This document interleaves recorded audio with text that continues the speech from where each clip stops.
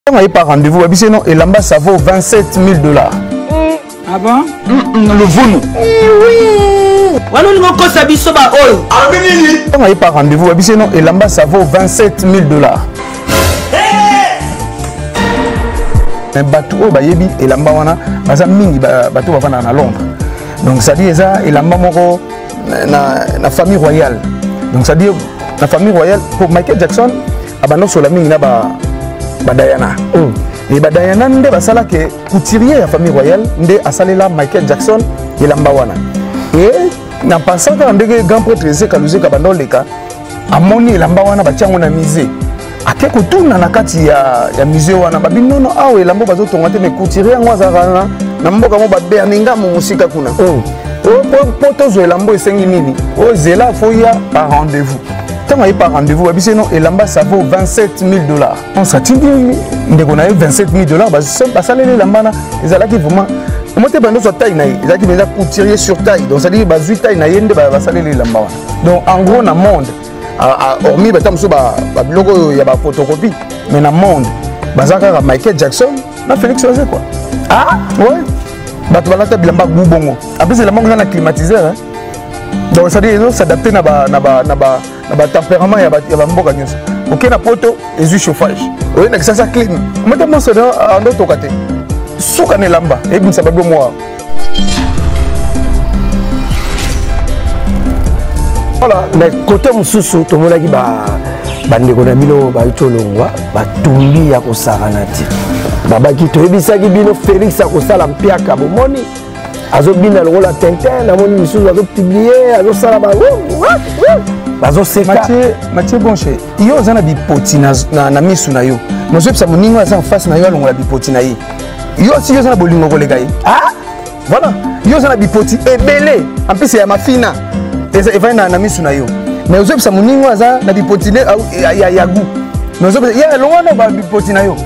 bandeko wana daya ngai si nalobaki de piakere soki basangani bakoki kosala orchestre te ah? de piakere mm. soki basangani bakoki kosala orchestre te bade piakere wana ozwi kote oyo na kote ah. bade piakere feli ozi ozobenga euh, gesad piakere na set and play wana kutu ozodinda suki mpiaka oso makasi ah! eh, wana odindi suki mpiaka makasi donc de piakere so basangani donc cetadire babebisi ko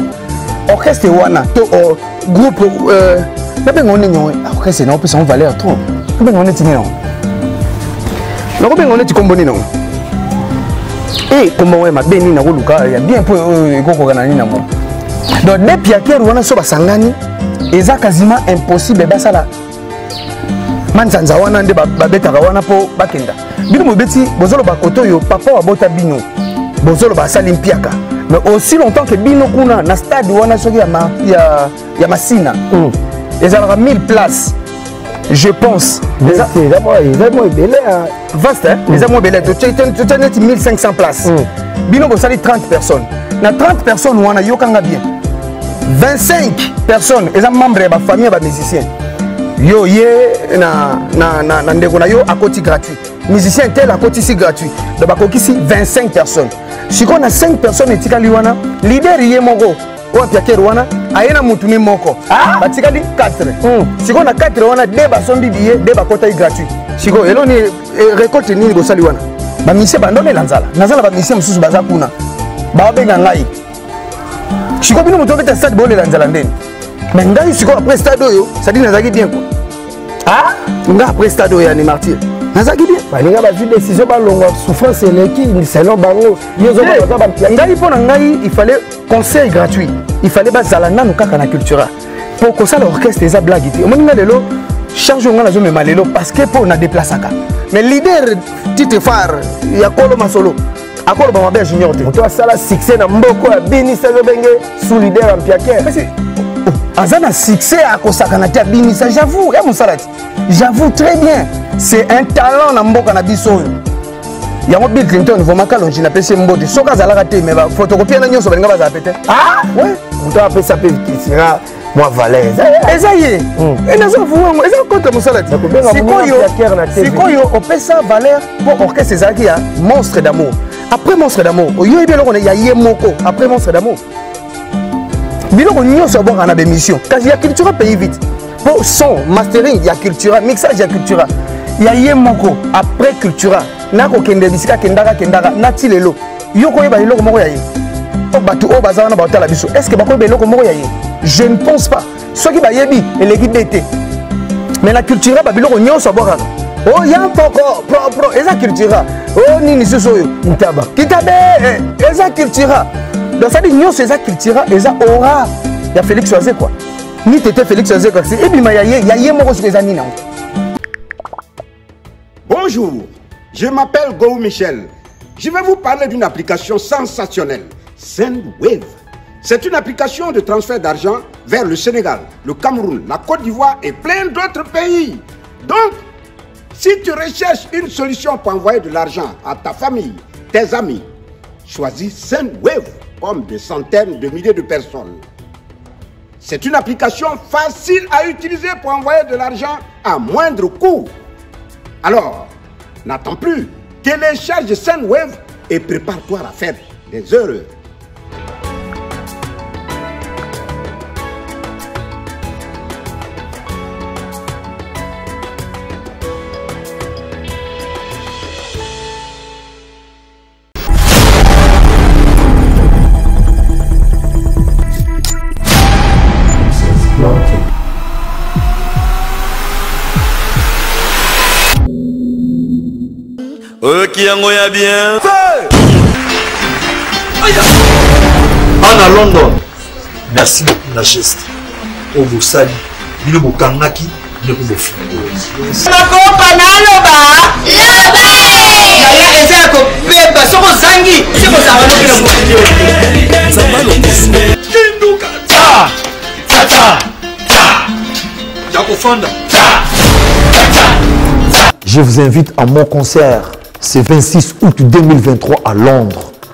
J'ai confiance, c'est bien le Werrason, le roi de la forêt. Solo la bien. La réalité,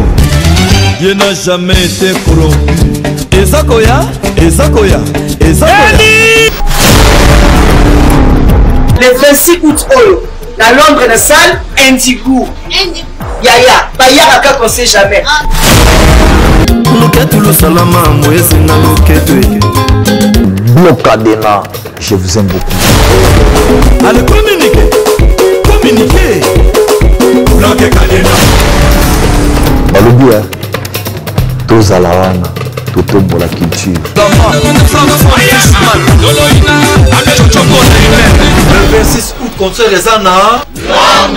kokutana na makambo ekosila kaka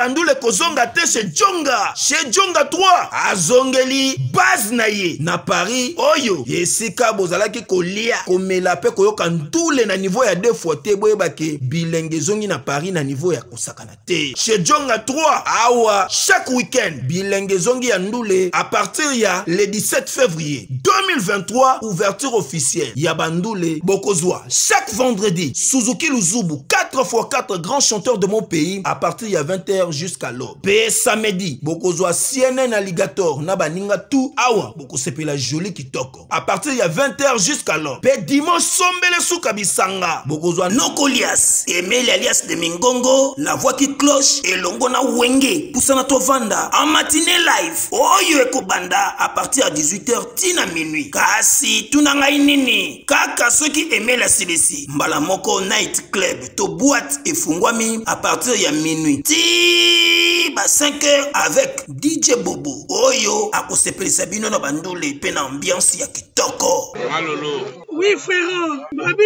Chonga. La Congolia. Futur, futur. Hein? Moto akosala 50 boîtes na kati ya Kin Chongaske.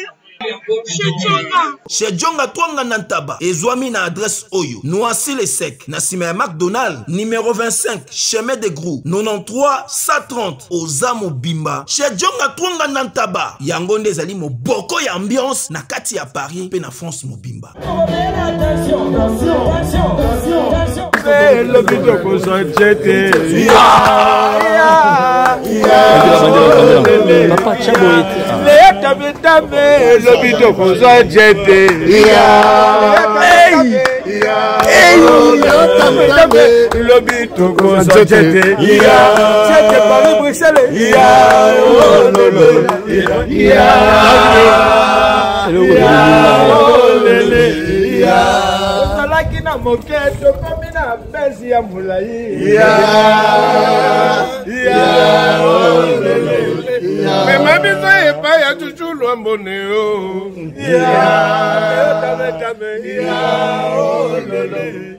pesa biso ba 50 topanzana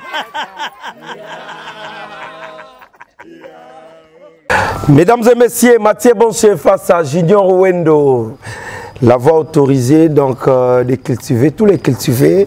Tant on a cultiver, baza batoyo, balingaka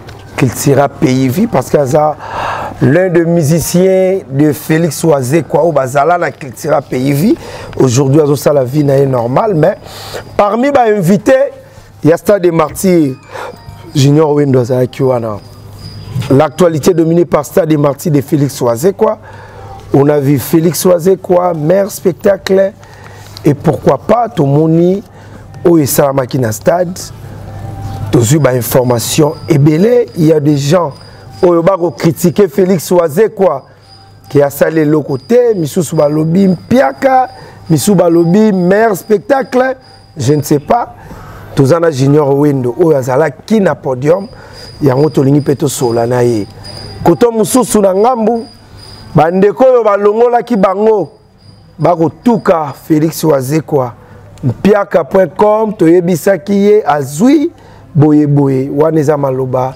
ya gisak chipoi seden play oyo mpe bazalaka na cultura pays vie mais tokosola rapidement na ndeko junior wendo oyo aza artiste très très talenté fraîchement de paris et bientôt là azozala na ngola grâce à notre producteur oncle judoka luyalo oyo napesi bambote ebele nzete pembeni ebale banegligeaka yango te et merci na balandi nyonso bakotala biso parce qu'on est déjà en direct sikelenge ya congo télévision merci na bandeko tu baza kotala biso na njili bana cangu balobi tofongola misu parce que candidat moko na provincial na njili eza dadi mangala candidat provincial dadi mangala biso tobengaka ya dadi oyo ya biso moko ngai ngai ya nsima ndako tokovote na nko dadi mangala merci ya vous merci ya fondation fredi ngunza candidat député national cangu nkombo na ye fredi ngunza napesi ye bambote ebele balobi oza na mposa okende canada avec 1400 dollars ya pamba ozwa visa bango moko bakotia ba prise en charge kende na agence monene avec la joie kitenge oyo napesi bambote ebele akosalela yo nyonso vision travel oyo napesi bamerci na baavoka na bandeko nyonso jokas mandula oyebi makambo oyo bien baescro baza ebele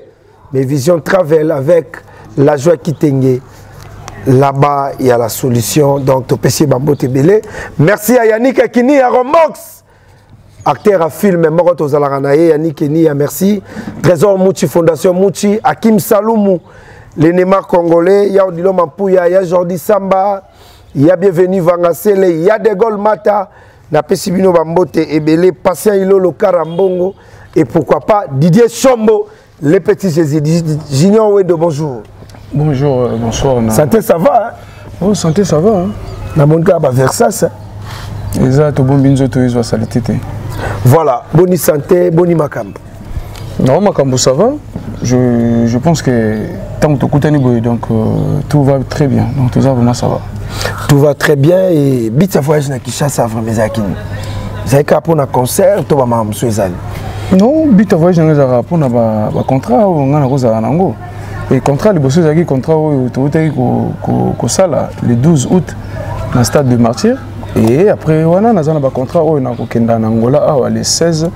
septembre toza to na angola quoi voilà tosola nanu oyo eza actualité lelo oyo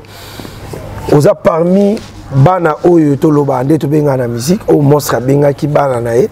oyo ozalaki na stade d'abord invitation ya monstre mpo na yo en tant que humain esalaki yo boni boza ebele mais aponaki quand même yo non mais ezolakisa bolingo ya papa donc yango nakosenga merci na monstre d'amour elakisa bolingo ya papa ahonore mwana na ye à comprendre vraiment que parmi bana oyo ya bota mwana oyo azosala mosala peut-être ya bien selon papa eza junior wendo euh, eza à honorer mwana donc euh, voilà eza, eza, eza très bien donc euh, osepelaki na invitation d'abord mpo na kobeta oui nasepelaki na to ezalaki yo moko nde moto olingaki obeta non to ezalaki par invitation ezalaki invitation ezalaki invitation papa ayebisaki mwana na ye ke na feti oyo toza nango oyo moto akozala mpenza à l'honneur eza yo mm. et je pense que bato bazalaki bamonaki ndenge papa azalaki na ngai voilà stade de marti ya félix elekaki boni ya bino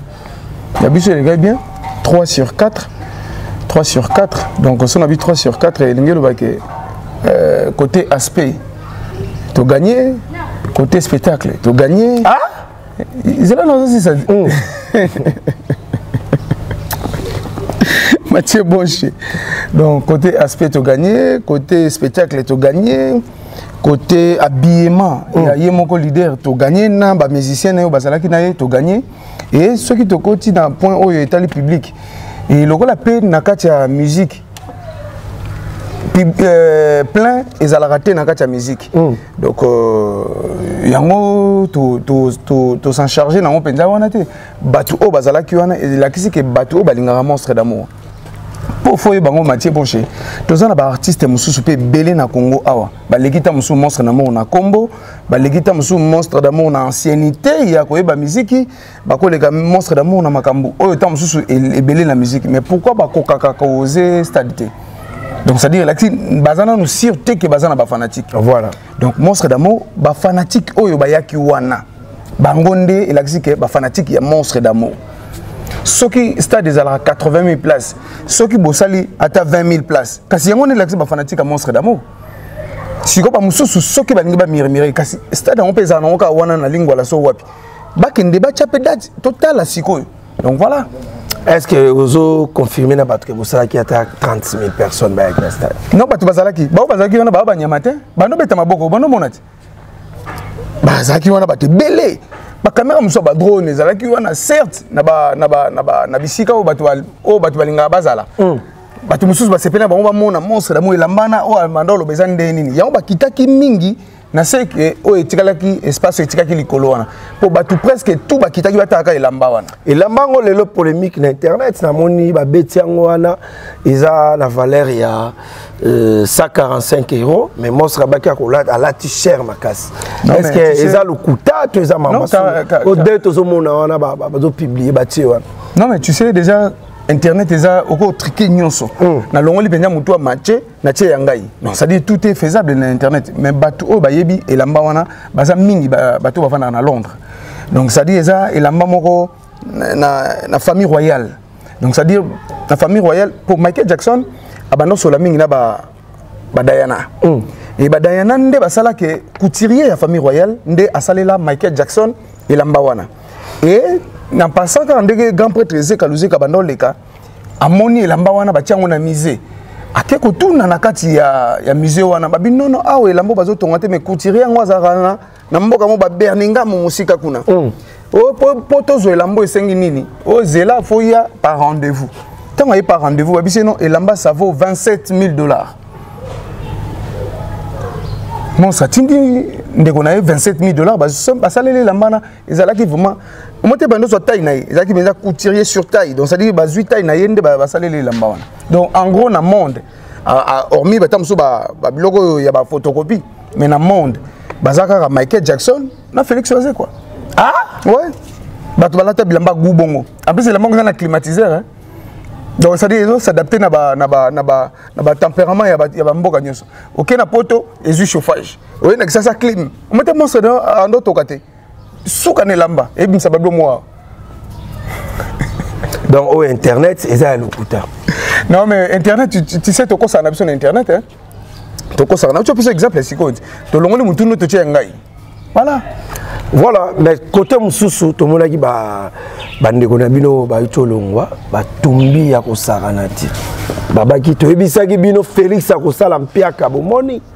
azobina lokola tintin namoni misusu bazopiblie azosala ba bazoseka Mathieu, Mathieu Bonche, yo oza na bipoti na, na, na misu na yo mais ozoyebisa moninga aza en face na yo alongola bipoti na ye yo si yo oza na bolingo koleka ye ah? voilà yo oza na bipoti ebele en plus ya mafina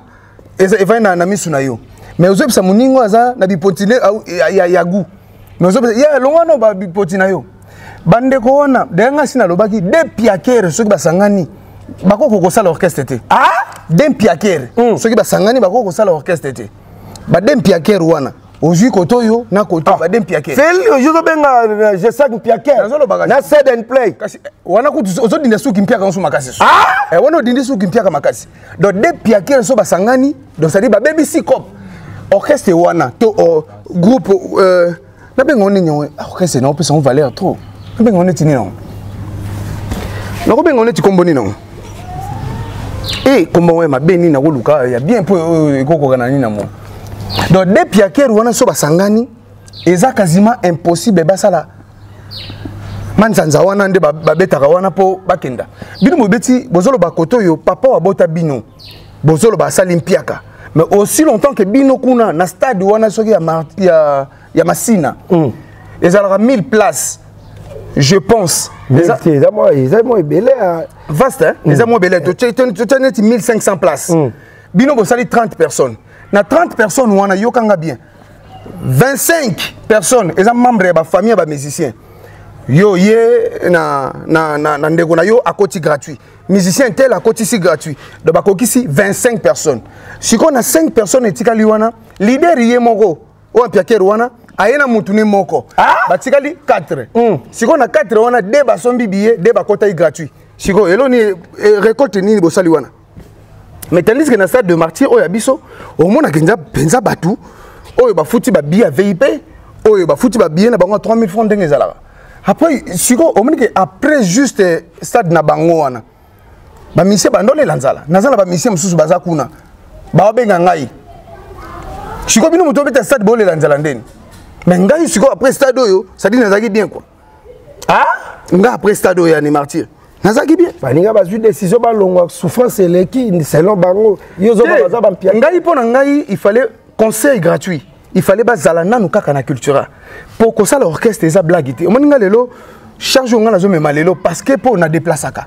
j'ai un compte bancaire oyo eza mpenza ya kolamuka ocomprendre mm. donc j'ai un compte bancaire oyo eza ya kolamuka ti nasala orchestre mpo nayebi quand même nasali 10 ans na cultura pourquoi nalongwaki te mais naza mwana poto ti pourquoi nalongwaki te kosala orchestre l'idée faut voyageaka l'idée faut kenda bino soki bosala orchestre l'idée yana naza passeport te ah ezali na na makambo mosusu awa mais mpo na signe ya respect ya leader wana nakosala yango te ocomprendre donc ye moko mpe leader wana yebi ke akoloba mabe te ya junior ntango mosusu sous leader wana oyo ya mpiakere asenga ma bawiski nde akoki koloba mabe ya junior parce qu'on se connaît pas ah? sous leader oyo ya mpiakere oyo asenga bawiski wana ntango mosusu akoloba mabe na nga parce qu'on se connaît pas mais leader titre phare ya kolo masolo akoloba mabe ya junior te moto asala succès na mboko ya bini sazo benge sous leader ya mpiaker kasi oh, oh, aza na succès akosakana te abinisa j'avoue ya mosala ti j'avoue très bien c'est un talent na mboka na biso oyo yango bill clinton vraiment kalonji napesi ye mbote soki azalaka te me photocopie na nyonso balinga bazala pe te ah? ouais. moto apesa mpe kisira mwa valeur eza ye eza ye hmm. e nazo avouer yango eza contre mosala ti sikoyo opesa valeur mpo orchestre ezalaki ya monstre d'amour après monstre d'amour oyoyebi eloko na ya ye moko après monstre d'amour biloko nyonso abwaka na bémission kasi ya cultura pays vite mpo son mastering ya cultura mixage ya cultura ya ye moko après cultura nakokende bisika kendaka kendaka nati lelo yo koyeba eloko moko ya ye bato oyo baza wana baotala biso est ce que bakoyeba eloko moko ya ye je ne pense pas soki bayebi eleki de te mais na cultura babiloko nyonso abwakaka o oh, ya mpoko propro eza cultura o oh, nini susu oyo kitaba kitabe eh, eza cultura donc cestadire nyonso eza cultura eza ora ya Felix Wazekwa ni tete Felix Wazekwa kasi ebima ya ye ya ye moko siko eza nini yango voilà voilà avec euh, beaucoup de tristesse lelo euh, musique yango ndenge ezokende nayebi te parce que yanike mawanika antitero ngai naza naza naza naza na souci moko boye nayebi te so bandeko ba baocomprendre ngai à travers nayebi te so bacomprendre ngai à travers to bazomona makambo oyo ngai nazo revendiquer ndenge bango bazokanisa ngai nazo manke bango mm. po baza bamikolo na ngai te baza kaka baancien bango kutu ngai nao manke kaka baancien ebongo bango bazo manke papa oyo abota biso na miziki ezosala mpe pasi ezosala pasi omoni tolobaka boye ozotambola na nzela okuti babeta papa na yo je ne pense pas que mwana oyo atanga aza instruit oyo aza na, na, na c'est-à-dire na esprit moko boye mm. ayo tuna explication nini pourquoi baotuna babeta papa aotuna te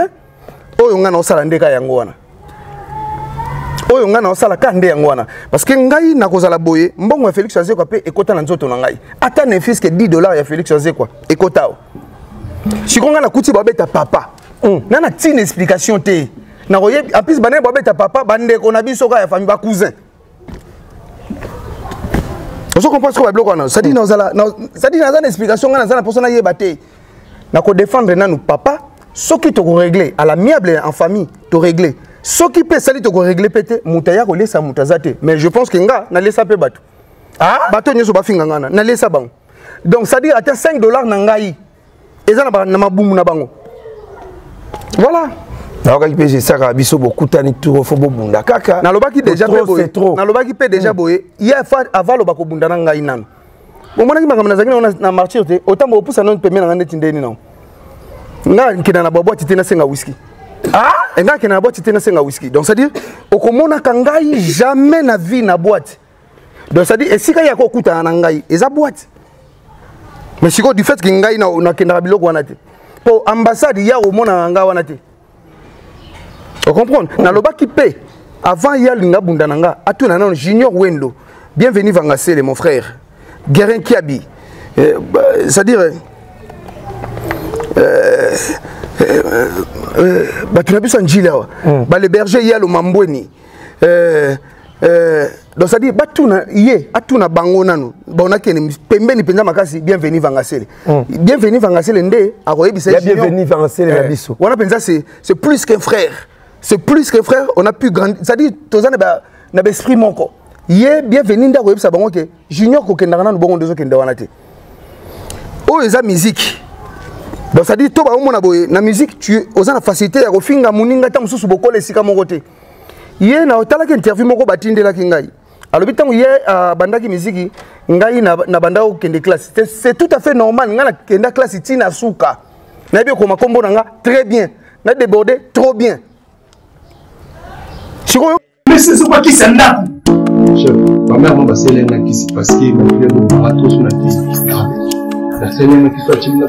na kati ya barouge babibela chef banda na bandi komela mwasi ingane esila omoni kokufaka oyo oyo oyo biloko ezoboma bino ndila oyo lokola kisi ya ndako papa oyebi te ke laboratoire ya misine esene biso solution wuta kala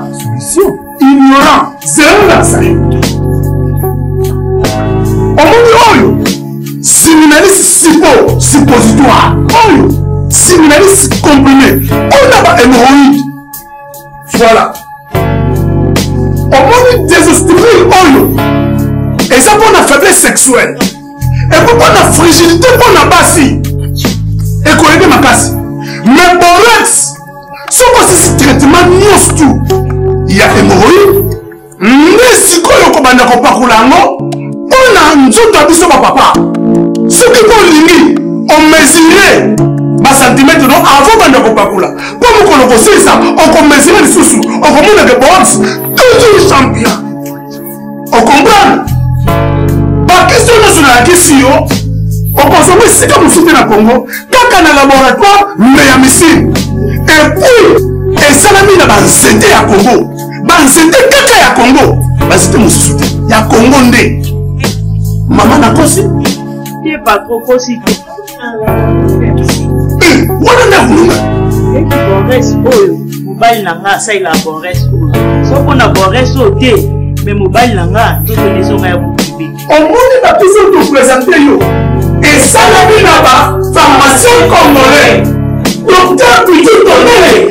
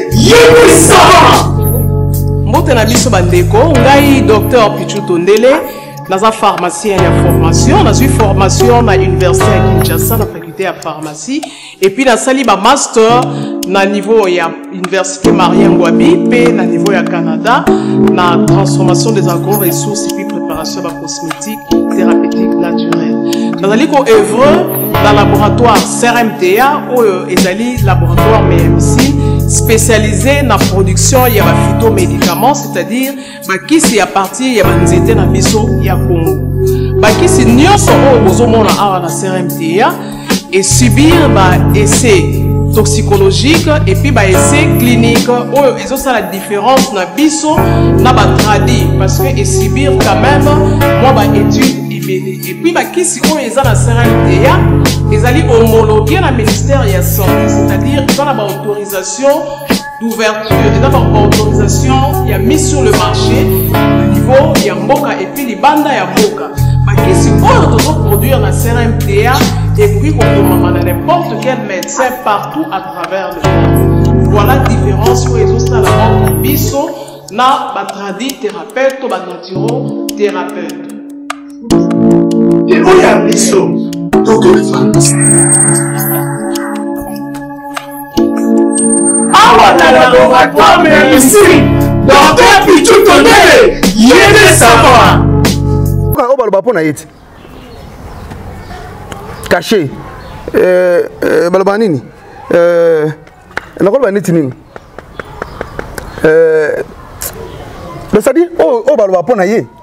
je pense que boyokaka yango boyokaka yango bakolake nini bakolake talent après talent bakolaka nini eloko wana ah? eh, ayebi kokoma te après talent bakomaka eloko wana ke ayebi kokoma te ah, nani aloba makambo wana si balobaka yango te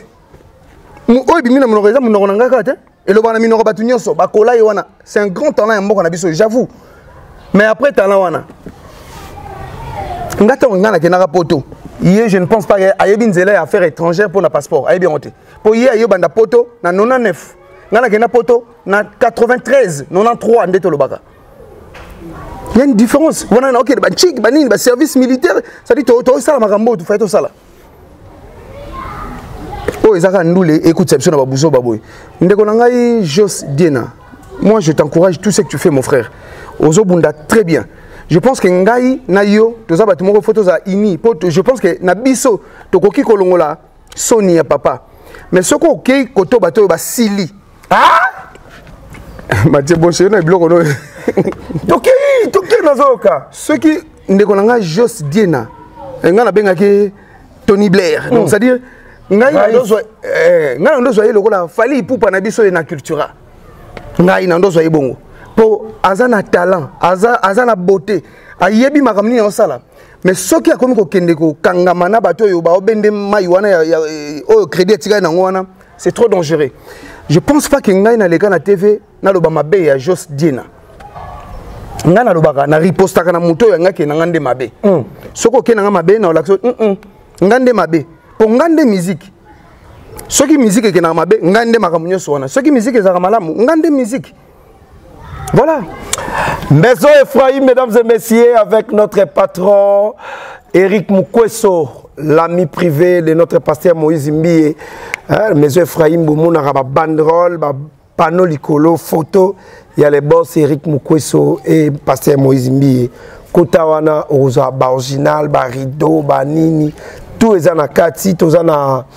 bibwa toza na quartier et puis toza pe na commerce en tout cas notre patron avec euh, notre patron Eric Mukweso maison Ibra et Ephraim na pesi yo bambote ebele parce que kuna kaka baoriginal baza message moko clé okoloba na bafano balinga félix wazekwa na bacritique oyo bandeko bakosala mpona papa na bino okoyebisa bacultive nini baotala bacultive boyebaka eh, l'homme de valeur est toujours l'objet des critiques eza normal bakritikele bino monstre d'amour c'est tout à fait normal omoni na congo tondimaka mpenza bato na mpasi ngai devoir na koloba lisusu eza nini mm. oyo amoni ke félix azeko asalaki mpiaka ayebisa artiste na ye hormis baartiste oyo babeta déjà wana mm. soki oza fanatique ya, ya, ya, ya artiste intel oyebi ke félix azeko asalaki mpiaka yebisa sikoyo artiste na yo stade yango mpe ezaka wana koloue stade ezalaka 40 000 euh, euh, comment dirais 40 000 dollars ya pamba ofuti 40 000 dollars na yo obandi kosala ba bamatraquage na yo okokisi jour yango totala mpe soki okoleka félix azekwa na nombre ya bato bazalaki wana bacultive oyo nyonso balingaka félix azekwa bozala na bino zen vie na nga jp lukombo micoranson zeka luzeka prêtre david beckham eh, eh, mon vieux mokonzi suza kutu leon napesi mo colonel papi mangunza mirindi sécurité donc mon colonel papi mangunza merci pour tout mon vieux merci merci merci vraiment donc ça dit eloko osalaki wana eza eloko moko lokola ngai sécurité ekomi ya mirindi pour une fois sikoyo bato bazoloba balingi basimba ngai totala bango soki bakokoka donc euh, voilà voilà toza pene na suka mais tobe toyoka ata mwa eloko mwa moke parce que olobi trop mm. et esepelisa junior lunianga maboko banque un partenaire en vie junior lunianga maboko banque Mon ami Patrick Desamba. Réponse ambulance. Na kati ya Njili. Mécano le plus suspect Patrick Desamba. Bodri Bolanga, merci à vous et Trésor Mputu ya Gaga. Ça c'est pour vous. Oliboda Milandu na Luanda. Boya boko tamba mo boya.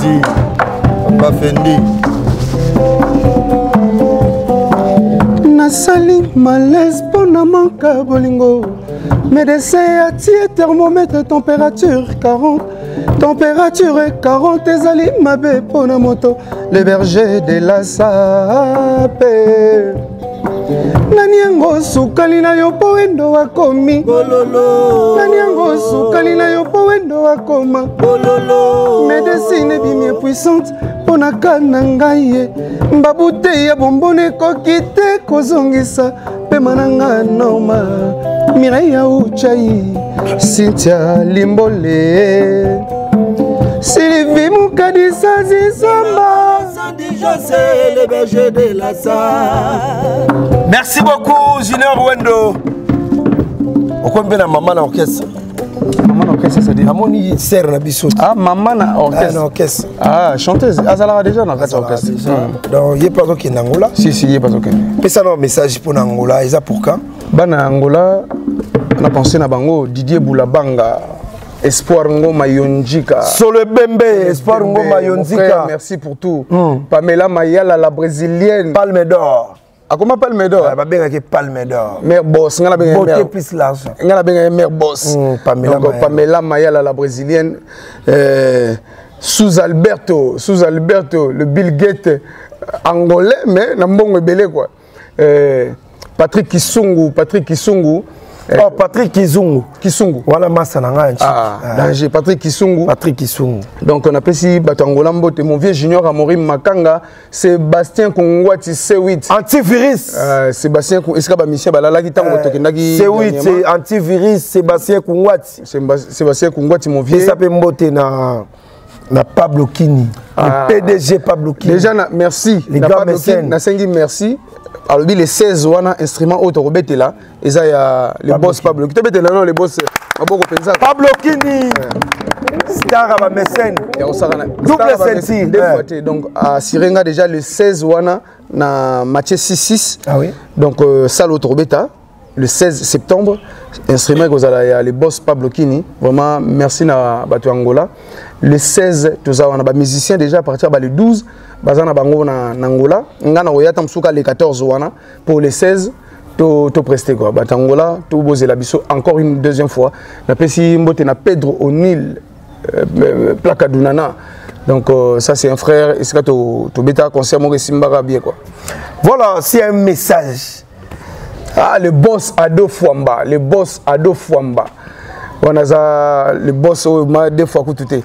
eh, mais producteur baza mibale mm. baza junior mandoki na noko jidoka luyalo donc c'est à dire tala des, des individus wana makasi balingi soutien ya eloko junior junior mandoki junior mandoki junior mandoki le boss junior mandoki na le, le mon vieux noko jidoka luyalo shusha lumière kanga makambo wana ndenge osalaka kaka dj pavel kanga makambo wana ndenge esalaka kaka Voilà. Voilà, merci beaucoup. Mais pour tous aussi, ça a aussi un message. Caméra ya Steve Ezotala yo. Na oyo nyonso bandeko bazoloba mpo na yo okoyebisa bango nini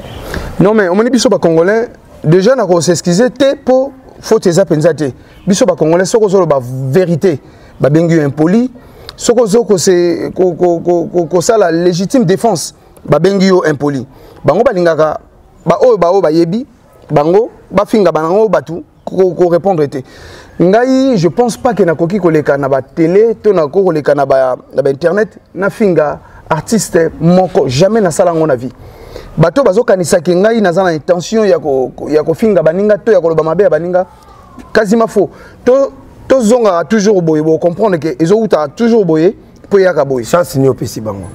na orchestre na bango te baza na chance te ah? ouais baza na chance te ah, baninga nakobebisa mo chance wana te mo chance eza, eza blague te gesak na seden basalchance nini opesi bango la musique c'est de l'argent tenabi gesa cipoi na seden basala orchestre chance nini opesi bango la musique c'est de l'argent hmm. sikoyo nabi dempiaker bakosala orchestre te simba ah! ouais. dempiaker bakosala orchestre te simba bato bakana bayani kini ya rombox soki bakomi na bato ya minene batrésor muti soki bakomi na bato ya minene bongo mm. topesa bango chance te mais totala bango kaka nde na miso sikoyo ntango bakokutana na 1000 dollars ya mobesu mm. nde esika bakabwani ah! eh, na chance topesi bango mpo yani kindi akopesa apesi bango 1000 dollars mm. omonaka l'autre sous sous sous sous sous président abino ah, pesaka no 500 sikoyo président alingokabola juste juste te asala nini apesi ah, bango chance te chance eza te okopesa bango combien de temps na orchestre wana ça fait déjà pratiquement un mois février eza ebele ntina ah! eh, février eza ebele février mpenza eza ebele eloko ya liboso ekabola bango nini mbongo kaka mpo na bide mpiake yanso bakutani na vrai mbongo esika bapanzani yango wana mpo baza na maîtrise ya mbongo te hmm. omoni eloko eboma orchestre lider so aza mpiakere maîtrise ya mbongo ezala te kaska sereka poison bamerci ebele mot de la fin mpona émission ya lelo toko non mais merci na yo matie bonche napesi mbote mingi na kosukisa charlie malula double dior napesi ye mbote esika azali femme responsable mm. charlie Mère malula donc euh, merci beaucoup mère donc euh, wana euh, faut kosuka na wana ça c'est très important non mais merci na yo matie bonche bamisie baloba te eloko te baoloba na bango nga apesi merci na nicoleta ben la lionne na kati ya paris aotala biso la joie amado pichuna femme très très très forte merci à ma préférée nadine ilodi antibal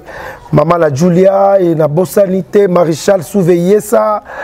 merci beaucoup à trésor bozo le mannequin le plus riche akotala biso merci beaucoup à mao monzo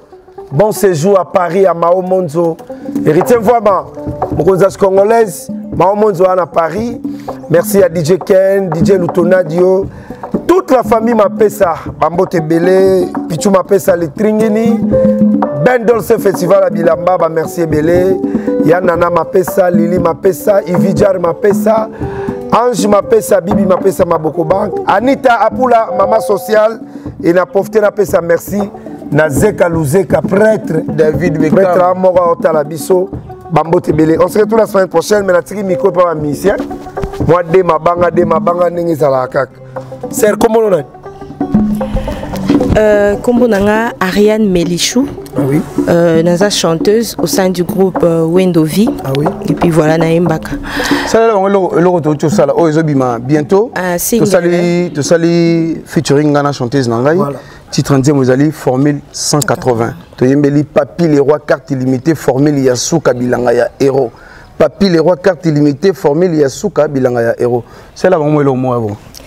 na resipia ya bolingo nakuti ete litanga bonheur te oprefere yo degerpinga na motema no ata 24 heure après ya vi oboyi kopesa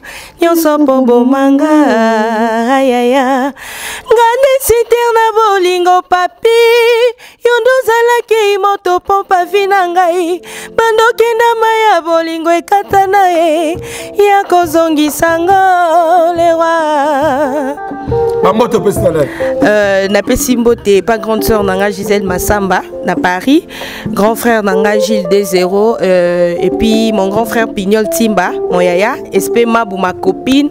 euh, Carmel Kifuta et puis euh, bat nyonso bayebi nga quoi artiste hein. artiste ozokenda ngolo chef d'orchestre hein. chef d'orchestre na biso moi c'est Luzo Bapema chef d'orchestre de Wendo V donc deuxième fois yango bana Luanda tozoya sœur na ngai sœur na ngai Gina Baruti hein, motema Panther donc nayebi ke bozela biso su tozoya wana mon vieux sébastien kungwa tive nde nde kaka ozalaki na biso kitoko nabosani te bana lwanda mobimba sans oublier louison mubenga wendo ville su na ngola donc rien à dire rien à dire toleka mo eloko moke ata voiture ezangi matriculation